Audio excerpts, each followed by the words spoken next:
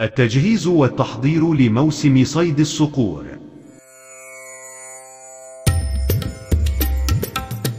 في كل عام من شهر تشرين الأول والثاني تبدأ أسراب الطيور الجارحة والصقور بالهجرة من أوروبا متجهة إلى إفريقيا وذلك حسب تغير الطقس والمناخ.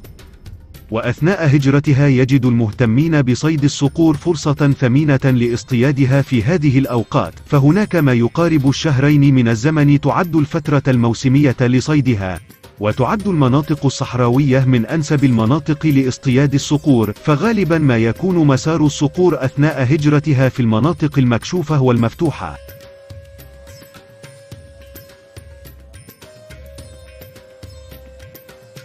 إن المهتمين بصيد الصقور أو كما يطلق عليهم القوانيس أو الطواريح يبدأون بالتحضير لموسم الصيد مع أواخر شهر آب ويجهزون أمتعتهم وأغراضهم من شباك وأقفاص وغيرها وكل قانوس يحضر عدته حسب الطريقة التي سيصطاد بها فهناك عدة طرق متبعة لإصطياد الصقور.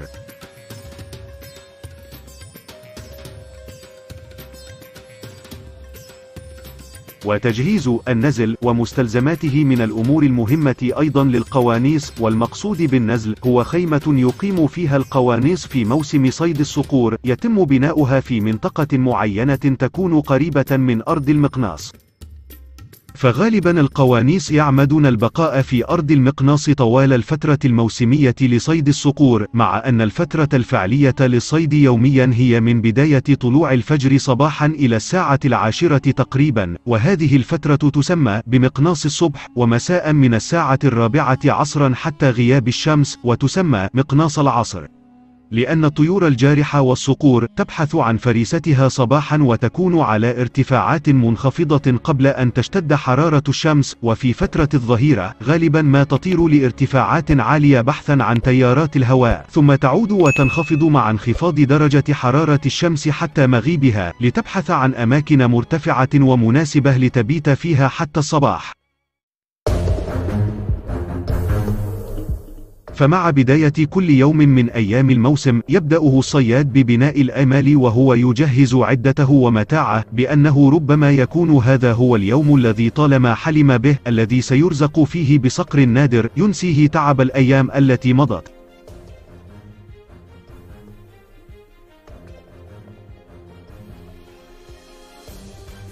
ولكن الآمال وحدها لا تكفي فيجب الاعتناء بالتجهيزات اللازمة والعدة والعتاد اللازمة لموسم المقناص.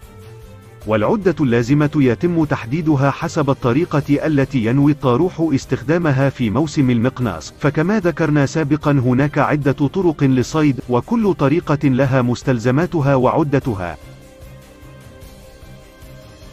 ومن اللوازم الأساسية لكل طاروح وصياد. أقفاص للحمام.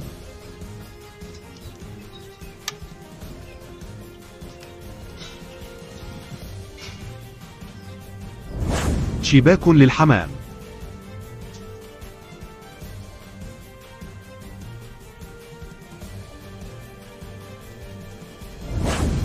وشباك النكلية التي تعلق في أرجل الباشق.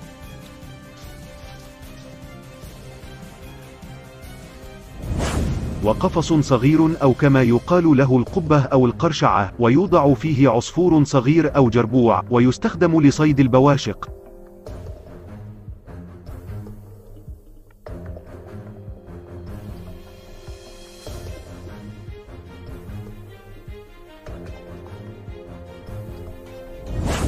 ناظور لمراقبة الأجواء أو للتعرف على أنواع الطيور البعيدة.